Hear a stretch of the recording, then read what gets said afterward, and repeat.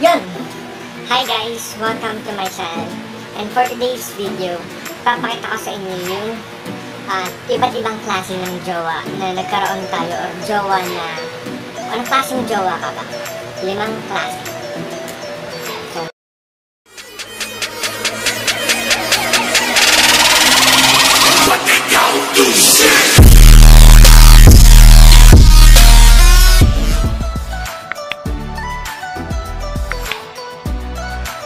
Guys, I am Angel Masan, your newest vlogger, editor, photographer, and social media influencer. And kung hindi ka pa na-subscribe sa aking channel, do not forget to subscribe and click the notification bell to be updated on my latest video. sabi ko na sa intro kung anong mangyayari sa video na to. Papakita ko sa inyo yung iba't ibang klase ng jowa. And kung anong klaseng jowa ka. Number one, yung jowang pabebe. Yung halos nakakasukla dahil sa sobrang pagkapabebe. Yung parang tipong nakakabuisit na sa sobrang kakabebehan. Yung parang ganito. Louie, kumain ka na ba? Eh? Hindi ba? Parang tingit to. Parang king sire. Minsan, ginagawa nilang letter E, yung letter A, and nilalagyan nila ng kaartehan yung iba't ibang mga letra. And minsan, nakakatawa yun. Minsan, nakakakilig. Pero hindi lagi. Jowang praning. Sila yung mga jowang laging updated. Gusto nila laging ganito, gusto nila laging ganyan. And pag may nakita silang ikasaselos nila, aawain nila yung jowa nila, parang ganito. Sino nag-like na yun? Sino nag-comment na yun? Sino nag-heart na yun? Jowa mo yun, oh. Kalandian mo yun, oh. Ano, umamin ka. Jowa na walang oras na hindi ka naiisip. Sila yung jowang mahal na mahal ka. Inang, sana all.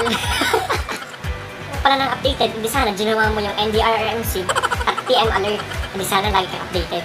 O, hindi naman masamang magselos. Pero, ang masama dun, yung napaparaning ka na sa kakaselos. Jowa number 3, jowang corny. Sila naman yung mga jowa na nakakasuklan sa sobrang kabaduyan. Yung parang bumabanat-banat pa. Yung feeling na parang ganito. Babe, tara, shabu. Shabuhay ko. Ikaw pa shabugin ko yung bibig mo. Ikaw pa shabugin ko yung jowa mo. Para shocking ka na lang.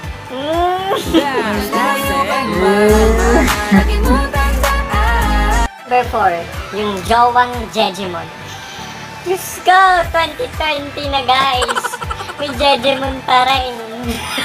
kung, makapag, kung makapag-chat o makapag-reply, mahal ko kayo. Babe, bebe ko, mahal ko, kumain ka na ba? Kumain ka na ba? Go! 2020 na mga ining! Jowa number 5. Jowang war freak. O yung mga jowang lu- lumilevel na sa jowang praning. Konting mapadikit ka lang or mapatabi ka or ma- mag-comment ka. Inaaway ka agad yung jowa, jowa nila or inaaway mo agad. Yung parang kung like mo yung jowa ko, pues, jowa na niya ako. Manigas ka dyan. Kapag like-like sa jowa ko, may jowa na yun, malandi ka, maharot ka. Sila yung jowang immature na aawayin pa talaga yung ibang tao. Kasi nga, para may ipaalam na jowa na yun. And ano naman, lahat ay binibigyan ng kahulugan. Kahit na wala na sila sa lugar. Limang klase ng jowa na posibleng meron kayo. So, kung meron pa kayong alam na klase ng jowa or anong klaseng jowa ba kayo, just comment down below and para maano natin, maisama natin sa next video natin kung meron. Thank you for watching!